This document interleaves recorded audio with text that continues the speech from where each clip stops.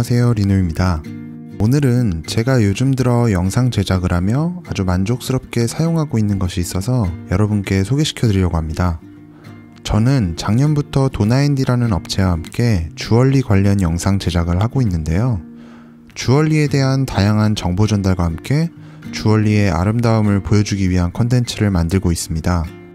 이 컨텐츠 같은 경우에는 제가 기존에 혼자서 제작하던 영상과 다르게 클라이언트와 함께 영상을 기획하고 함께 만들어가는 방식의 촬영인데요.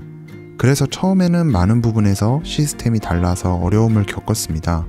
저 같은 경우에는 혼자서 영상을 만들고 하다 보니까 여러 사람과 함께 영상을 만드는 것이 익숙하지가 않았었어요.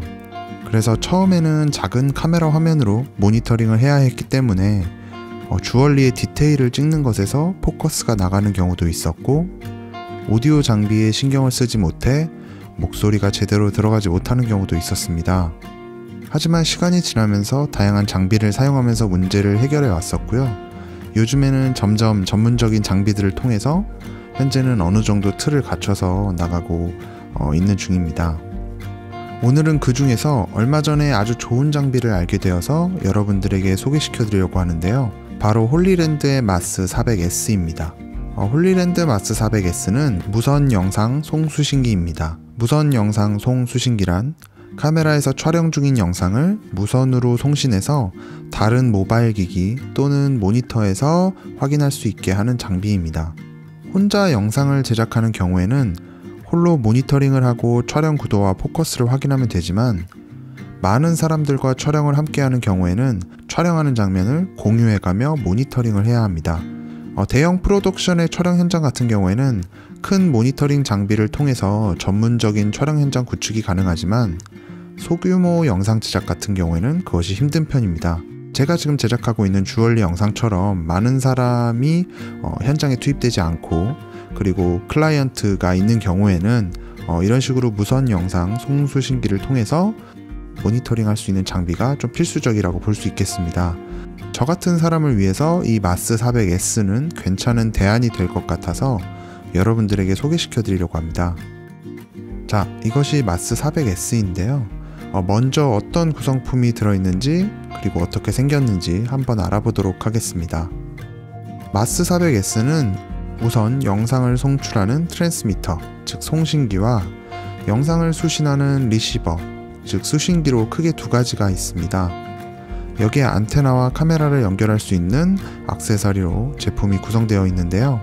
제품은 안테나를 연결하는 부분과 HDMI 단자, 그리고 USB-C 타입 단자가 있습니다.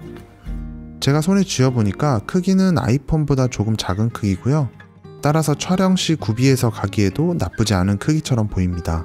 그럼 요번에는 마스 400S를 한번 사용해 볼 텐데요. 우선 마스 400S의 송신기를 HDMI 케이블과 함께 카메라에 연결합니다. 그리고 나서 preview 모니터 또는 외부 모니터와 수신기를 연결합니다. 그러면 바로 카메라로 촬영 중인 화면이 외부 모니터에 보여지게 되고 어, 화면을 모니터링 할 수 있게 됩니다. 이렇게 되면 수신기와 모니터가 촬영 현장에서 떨어져도 촬영되고 있는 화면을 실시간으로 모니터링 할 수 있게 됩니다. 아까 말한 대형 촬영 현장과 비슷한 환경이 구축되는 거죠.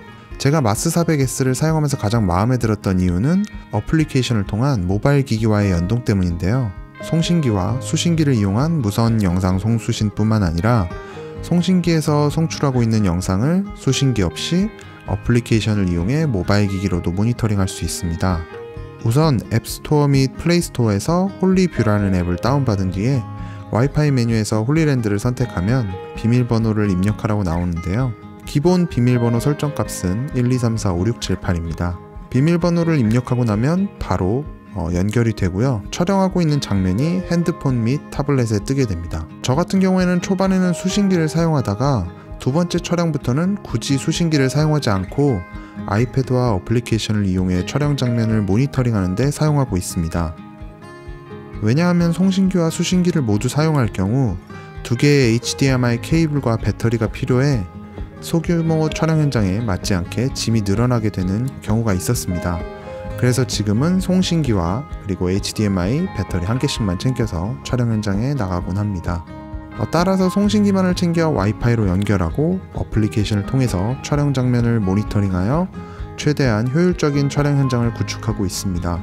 주얼리 촬영 때 클라이언트 분께서 굳이 촬영 현장 근처에 오지 않아도 조금 떨어진 곳에서 모니터링 할 수 있다는 장점이 있었으며 그리고 최대 4대까지 무선 모니터링이 가능해서 더 빠른 피드백도 어, 받을 수 있었습니다. 그리고 MARS 400S는 외장 모니터 기능까지 지원을 하게 되는데요. 어, 앱을 통해 연결하게 되면 실제 Ninja와 같은 외장 모니터에서 지원하는 기능도 지원을 합니다. 히스토그램, 화면 비율 설정, focus peaking 등을 지원하며 어, LUT까지 import하여 확인할 수 있습니다. 영상에서 보신 것처럼 저는 요즘 클라이언트와 함께하는 촬영 현장에서 MARS 400S를 아주 잘 사용하고 있고요. 어, 좀 아쉬운 점도 몇 가지 있었습니다. 불편할 정도까지는 아니지만 어느 정도의 영상 지연이 생기는데요. 대략 0.3초 정도입니다. 어, 이것이 러프한 촬영 현장에서는 문제가 되지 않지만 디테일한 순간을 촬영해야 하는 경우에는 신경이 쓰일 정도입니다. 저 같은 경우에는 글씨를 쓰는 작업에 사용해 보았는데요. 어, 촬영 구도를 확인하고 잡는 데는 문제가 되지 않았지만 글씨 촬영의 순간을 모니터링하는 데는 신경이 자꾸 쓰여서 결국 외부 모니터를 다시 사용해서 촬영을 하게 되었습니다. 이런 부분을 제외한다면 저같이 모니터링 용도나 클라이언트와 소통하는 용도로 사용하기에는 Hollyland MARS 400S는 아주 좋은 선택이라고 보여집니다. 어, 점점 더 영상에 대한 고민과 욕심은 많아지고 유튜브를 시작하면서 다양한 방식의 영상을 제작하고 있는 분들에게 Hollyland MARS 400S를 강력하게 추천해드립니다. 오늘 영상 봐주셔서 감사하고요. 어, 다음 영상에서도 더 좋은 영상으로 찾아오도록 하겠습니다. 감사합니다.